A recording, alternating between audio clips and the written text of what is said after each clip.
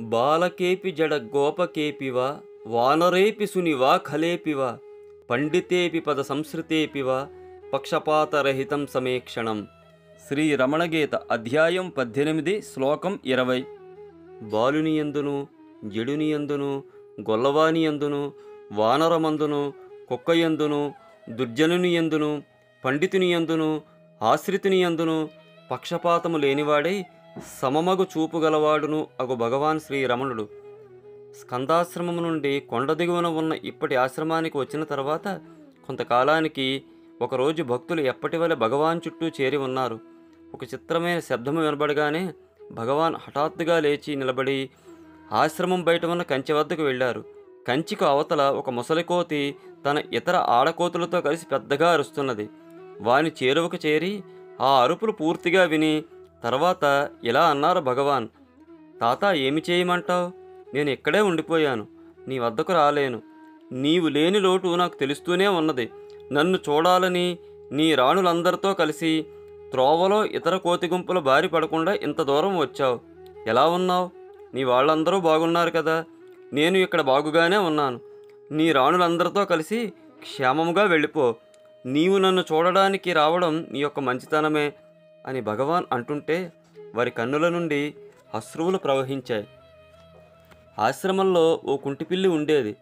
ఆమె ప్రతి ఆరు నెలలకు ఒకసారి పిల్లల్ని కంటూ ఉండేది. ఆశ్రమవాసులు ఆ పిల్లిని ఓ పెద్ద తలనొప్పిగా భావించేవారు. భగవాన్ ఆమెను వాత్సల్యంతో చూసేవారు. ఒకసారి ఆశ్రమానికి వచ్చిన ఓ సందర్శకునికి అప్పగించి ఆ పిల్లిని ఆశ్రమానికి ఇరవై మైళ్ళ దూరంలో గల ఒక గ్రామంలో విడిచిపెట్టమన్నారు ఆశ్రమవాసులు కొందరు. కొన్ని రోజుల తర్వాత హఠాత్తుగా ఒకరోజు ఆ పిల్లి భగవాన్ ఎదుట ప్రత్యక్షమైంది. చూడగానే భగవాన్ ఎంతో సంతోషంతో నీవు వచ్చేసావు చాలా సంతోషం. వాళ్ళందరినీ ఓడించావు. ఎంత దారుణం. నిన్ను దూరంగా తరిమేశారు.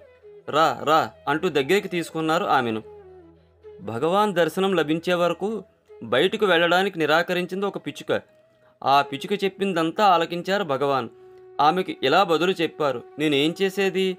వీళ్ళు నీ గూడు పీకేసి నిన్ను ఇబ్బంది పెడుతున్నారు.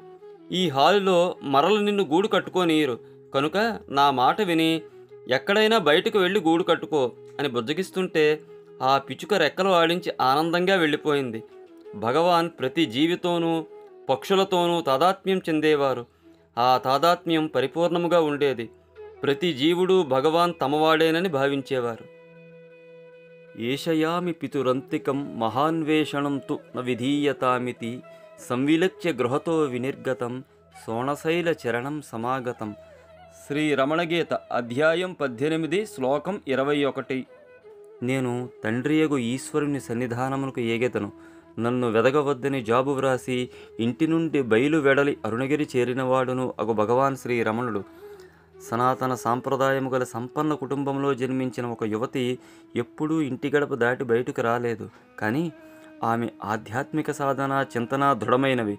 ఆమె శ్రీ రామకృష్ణ పరమహంస స్వామి వివేకానందల బోధనలు చదివింది. ఒకరోజు ఒక బంధువు ద్వారా ఆమెకు ఒక తమిళ గ్రంథం లభించింది. ఆమె ఆ పుస్తకం పూర్తిగా తెరవక మునిపే ఆమె చేతికి అందగానే ఆమె బాహ్యస్మృతిని కోల్పోయింది. పుస్తకం చదవవలనని ప్రయత్నించిన ప్రతి పర్యాయము ఆమెలో వినూత్నమైన ఒకానొక ఆధ్యాత్మిక అనుభూతి ఉత్పన్నమై ఆమె అంతరంగమున ఆనంద తరంగములు దివ్యముగా ప్రజ్వరిల్లుతున్నాయి. చివరకు ఒకనాడు పట్టుదలతో ఆ పుస్తకం తెరచుటలో కృతకృత్యురాలైనది. అది రమణ విజయము లోపల ఆమెకు భగవాన్ రమణుల దర్శనం లభ్యమైంది. ఇంతకు మునుపెన్నడూ ఎరుగని రీతిలో ఆ స్వామి యొక్క కరుణాద్ర దృష్టి ఆమెలో దివ్యమైన ప్రశాంతతను నెలకొల్పింది. ఆ విధంగా రమణులే తన సద్గురువులని ఆమె గ్రహించగలిగినది. తన యొక్క సద్గురువుని దర్శించవలనటి తీవ్రమైన కాంక్ష ఆమెలో ప్రారంభమైంది. బంధువుల కట్టుబాట్లు ఆమెకు అవరోధములైనాయి. చివరకు ఆమె తన సోదరుని సాయంతో ఎవరికీ తెలియకుండా నెమ్మదిగా ఇంటి నుండి బయటపడి తిరువణ్ణామలై వెళ్ళుటకు రైలు ఎక్కింది. కానీ క్షణక్షణం బంధువులు ఎవరైనా వచ్చి పట్టుకుపోతారనే గుబులుతో గడిపింది. ఆ విధంగా ఎవరికీ తెలియకుండా రావడం తప్పని మనస్సులో బాధగా ఉన్నప్పటికీ తన గురువును దర్శించాలనే తీవ్ర కాంక్ష ఆమెలో తెగింపు కలిగించింది. అరుణాచలం చేరుకున్నప్పటికీ తప్పు చేశాననే భావన ఆమెలో కలవరం కలిగిస్తుంటే ఎప్పటి నుండో ఆశిస్తున్న భగవాన్ దర్శనం లభిస్తున్నదనే ఆనందంతో ఆమె ఆశ్రమం చేరుకుని భగవాన్ ఉన్న పాతహాలులోనికి ప్రవేశించింది. సరిగ్గా ఆమె ప్రవేశిస్తున్న సమయంలోనే భగవాన్ అక్కడ కూర్చున్న వారితో చెబుతున్నారు ఏమి చేసేది? ఎవరి అనుమతి తీసుకొనకుండా నేను ఇంటి నుండి పారిపోయి వచ్చాను దొంగల. మధురలో రైలులో కూర్చుని ఉన్నప్పుడు కూడా ఏ క్షణంలోనైనా ఎవరైనా వచ్చి నన్ను పట్టుకుంటారేమోనని భయపడ్డాను. ఏమైనా? అరుణాచలం యొక్క ఆకర్షణ చాలా బలీయమైనది. అప్పటి నా లక్ష్యము అరుణాచలం చేరటమే. చూడండి నేను ఎలా ఇంటి నుండి పారిపోయి వచ్చాను అని ఆమె తనను భగవానుకు పరిచయం చేసుకొనక ముందే భగవాన్ పలికిన ఈ మాటలు ఆమెలోని అలజడిని పోగొట్టాయి. ఆమె హృదయంలో ఆనందం పొంగి పొరలున్నట్లు దివ్యమైన భగవాన్ రూపం ఆమె కన్నులకు విందు చేస్తుంటే భగవాన్ ఏమీ ఎరుగని వాని వలె తనను తాను దొంగగా చిత్రించుకుని జిజ్ఞాసురాలైన ఆ అగంతకురాలి వేదనను గుర్తించి తొలగించారు. ఆ భక్తురాలు తన సొంత ఇంటిలోనే ఉన్నట్లు సంకోచం లేకుండా స్వేచ్ఛగాను సంతోషముగాను ఆశ్రమంలో ఉండగలిగినది. అహతంస భగవానగవాసి సిద్ధలోక మహిమాతు దురూప తేసివేన సదృశాశివ రోహ శిక్నువంతి చ వరాణ్యపి దాతుం. శ్రీరమణగీత అధ్యాయం పద్దెనిమిది శ్లోకం ఇరవై రెండు. అరుణగిరియందుండు రమణ భగవంతుడు అమృతనాథయతికి సిద్ధుల మహిమ ఊహింపనలవిగానిదనియు శివునితో సమానులకు శివరూపులే తామై వరములు ఇచ్చుటకు కూడా సమర్థులనియూ వచించను. భగవాన్ విరూపాక్ష గుహలో వసిస్తున్న రోజులలో అనేక అద్భుత దృశ్యాలు అనుభూతులు గోచరమవుతుండేవి. సాధారణంగా ఇటువంటి అద్భుత దృశ్యాలను మానవాతీత సంఘటనలను భగవాన్ పరిగణించేవారు కాదు. కానీ అరుణాచల పర్వతములకు సంబంధించిన ఏ విషయమైనా భగవాన్ ఎంతో వివరంగా విపులీకరించేవారు. ఆ విషయములు వర్ణించుటలో వారెంతో ఆనందము తన్వయత్వము పొందిడివారు.